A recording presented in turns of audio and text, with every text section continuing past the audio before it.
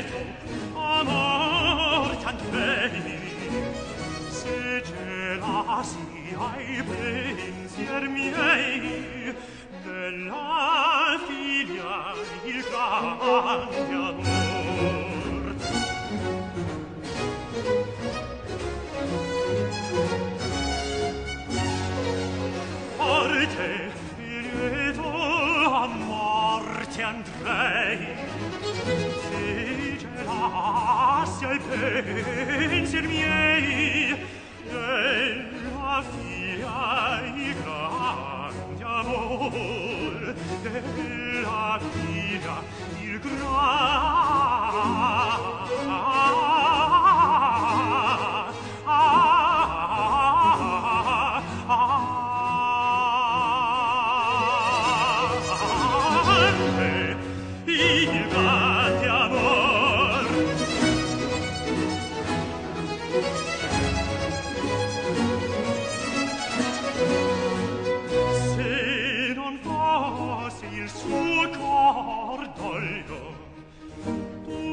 vedresti in me più orgoglio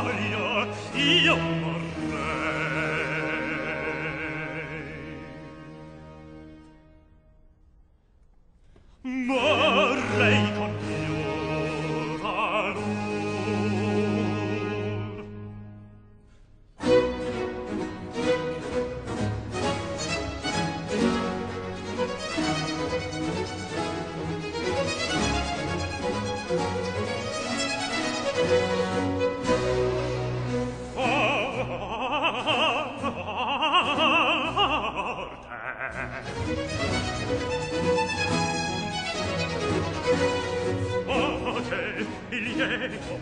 amor t'andrei se gelasi ai pensier miei della figlia il grande amor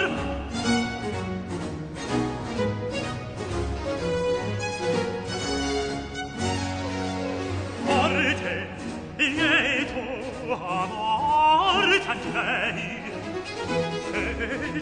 ah, sei degel miei, bella figlia il grande amor, figlia il grande